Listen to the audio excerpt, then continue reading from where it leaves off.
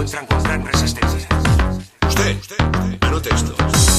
Una vez conquistada una posición, bajo ninguna circunstancia pueden rendirse en ausencia de órdenes directas del cuartel general de la división. No avanzamos.